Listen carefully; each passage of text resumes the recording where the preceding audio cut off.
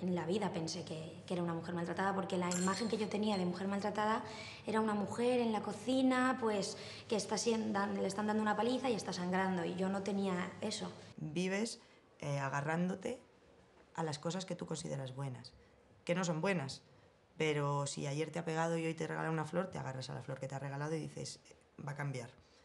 Yo vengo hoy aquí sin pretensiones de ningún género. Vengo como una mujer sencilla que ha llorado y ha visto llorar.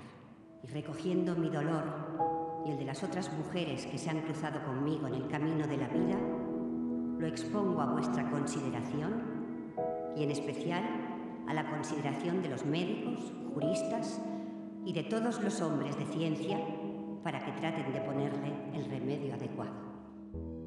Mercedes Pinto somos todas nosotras. No, no han pasado 100 años no han pasado ni 50, no han pasado ni dos días. Ese discurso de, de, Mercedes Pinto lo oí ayer, lo oí antes de ayer, en las residencias que van ingresando, las mujeres maltratadas.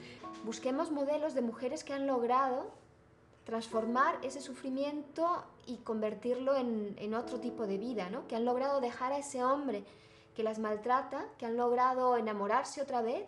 Era super mamá, pero también era un super personaje en su vida exterior. Trabajaba, escribía, pensaba, pero siempre conservando una feminidad muy grande.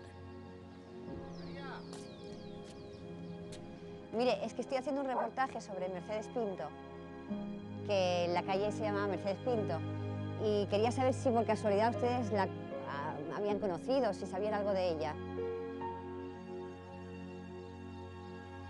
¿Y cuando llegaste ya estaba el nombre de la calle o lo pusieron no, después? No, no, no, mucho después, hace, no me acuerdo bien, pero hace pocos años que... ¿Como 10 años o así? Aproximadamente.